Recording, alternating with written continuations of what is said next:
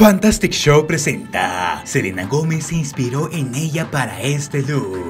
Selena Gómez ha dado lecciones de estilo, esta vez de la forma más retro posible, con elementos que recuerdan mucho a la reina del Tex-Mex que inspiró su nombre, Selena Quintanilla. La cantante brindó una entrevista para la plataforma musical estadounidense Genius, en la que llevó un look con detalles que desempeñó a la intérprete de Como la Flor. Para la ocasión, Selena Gómez llevó una camisa barra vestido de la casa de moda francesa Louis Vuitton, combinada con un hoodie con efecto fur y ligeramente oversized de la marca Free People. La cantante de Allows You to Love Me complementó con accesorios de las firmas Hoop, Arracadas y Mejuri su cadena dorada. Con este look, Selena Gómez revivió dos detalles que distinguían sinceramente a Selena Quintanilla: su peinado y sus arracadas maxi, dos elementos que la cantante tejana coordinaba con mucha frecuencia. En una presentación de su tema, Amor Prohibido, Selena llevó un look memorable,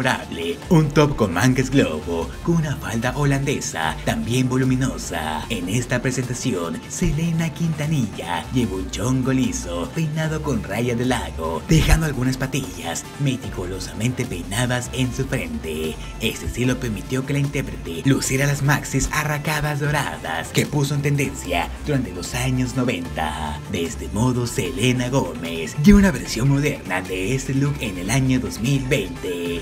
La también actriz lo trajo la actualidad con su chongo liso ligeramente alborotado, peinado con raya en medio. Permitió que sus arracadas, un poco más minimalistas que la de los 90, lucieran como Selena Quintanilla lo hubiera hecho en varias ocasiones. Por otro lado, hay que recordar que Selena Quintanilla era una prescriptora de estilo de su tiempo. Las lentejuelas y el cuero eran sus detalles favoritos para añadir a sus looks. Y si el furo hubiera sido un efecto de moda en aquel entonces, seguramente la cantante de Bidi Bidi Boom Boom la habría llevado como Selena Gómez lo hizo en su Hottie en 2020. Selena Gómez se encuentra en plena promoción su álbum Rare. En la entrevista con Genius, la cantante Selena Gómez explicó el origen de las líricas en su canción que lleva el mismo nombre. Pero ¿tú qué opinas acerca de esto? Déjame saber tu opinión en la caja de comentarios. Yo soy Carto y nos vemos hasta el siguiente video. Adiós.